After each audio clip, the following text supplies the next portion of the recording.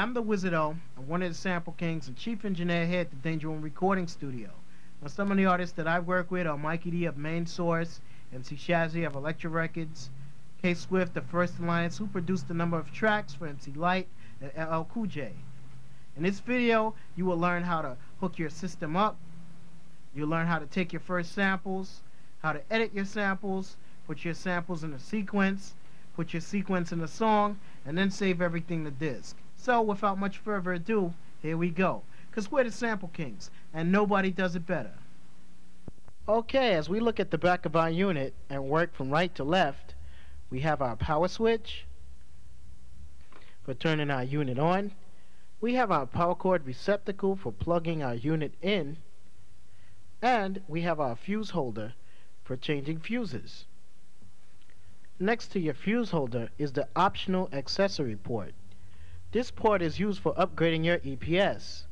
Mine has over 2.5 megabytes of memory, plus it supports a SCSI hard disk, so I can save my samples without using floppies. Moving right along, we have our MIDI through port, we have our MIDI out for sending MIDI information to other sound modules and keyboards, and we have our MIDI in for taking information into the EPS a good application for this port would be to sync our keyboard to a sequencer or a drum machine. Directly next to the MIDI in is our output expander port.